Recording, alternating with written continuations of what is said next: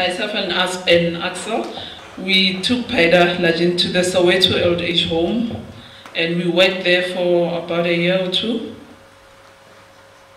Yeah.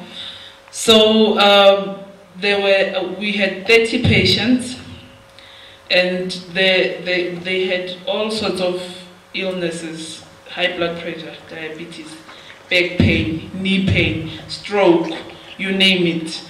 Um, the results were amazing. I had one patient that was well enough, she had stroke. She was suffering from stroke. In that year, she was well enough to go back to her home. She didn't need to be in the old age home anymore. She was well enough to, to, be, to be independent and go home to live her life. Yeah.